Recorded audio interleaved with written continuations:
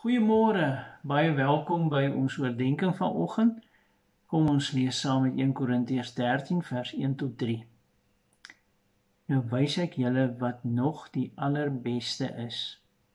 Op praat ek die tale van mense en engele, maar ek het geen liefde nie, het ek 'n stuk klinkende metaal en 'n galmende simbaal geword.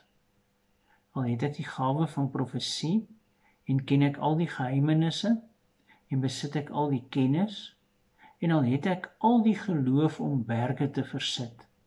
Maar ek het geen liefde nie dan is ek niks nie.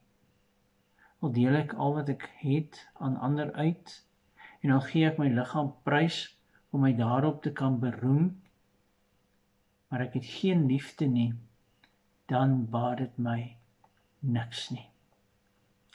Ons tema is 'n geswoeg sonder sukses.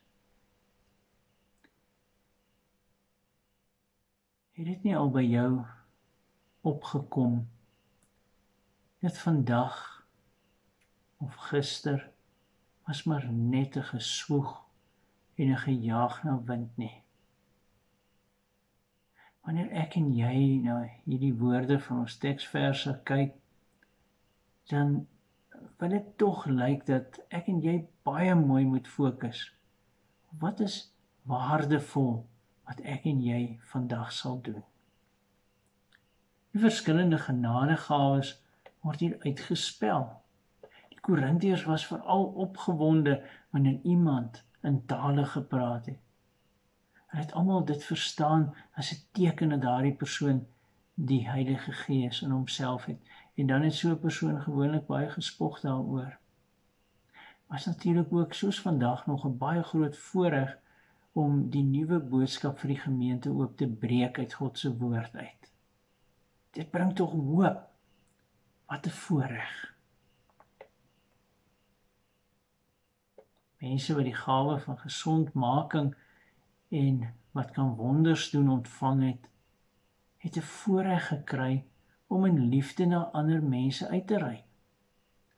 Dieselfde het ook gegeld van mense wat ander met oorgawe dien. Dis asof dit die deurbreek van God se koninkryk beteken het. En tog as jy so lees in hierdie gedeelte, dan lyk dit asof alles maar net te vergeefse geswoeg is. Vreemd sou ek en jy sê, want God is tog die gewer van al hierdie goeie gawes wat hy gee dien tog altyd tot eer en verheerliking van sy heilige naam en tog is die probleem dat hierdie gawes nie beskou word altyd as genadegawes van die Here nie.